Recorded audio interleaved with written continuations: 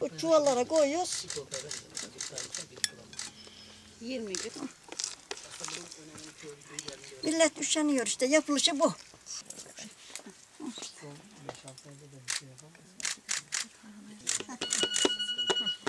Böyle koyuyoruz. Şöyle bana doğru uzatabilir misin? Tamam. Şöyle.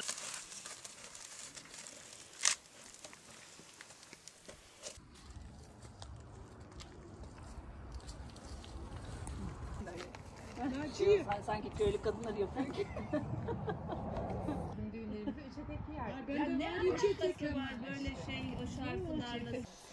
Ee, eskilerden beri yapılır. Ben yaşım 41, 41 senedir yapıyoruz.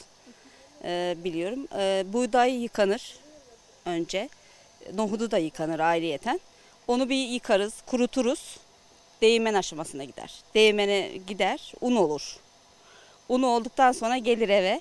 Onun biz e, yoğurdunu üdürüz ya da oturak yaparız sütten. Oturak deriz biz. Yani sütü mayalarız, ekşidiririz. Yani onu hazırlarız. Domatesini doğrarız. Domatesi de 3-4 gün biraz ekşitmesi için koyarız. Biber, salçalık biber, e, nane, e, nohut unu hepsi karışır. E, mayalarız. Mayamız da ayrı olur. O aynı buğdaydan maya yaparız. Ayrı onun mayası oluyor. Öyle e, kararız. Bu aylarda Eylül en çok Eylül ayında oluyor. Kararız, çuvala katarız. E, bir ay, 15-20 gün sonra sereriz hava şartlarına göre. E, kuruturuz. Kışlık yiyeceğimizi güneş görmeyen bir yerde kurur, çorba haline getiririz.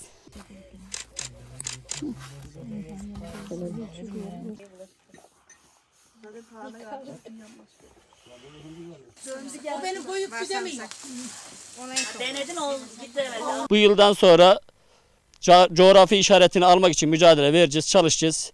Bence hani alırsak halkımız da kazanacak. İnşallah bundan sonra bu yılki yaptığımız şenliğimizi, tarhana şenliğimizi meydanda yaptık. Kazanlar yani biz dedik ki ya 2000 kişiye yeter.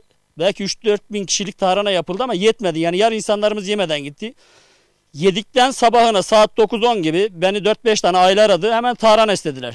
Biz de aldığımız yeri yönlendirdik, aldılar. Hatta şimdi hazırlık yine başladılar. İstek çoğaldı yani bizim tarhana bölgenin. Kavrulmuş. Sosunu varmış anam koyduk.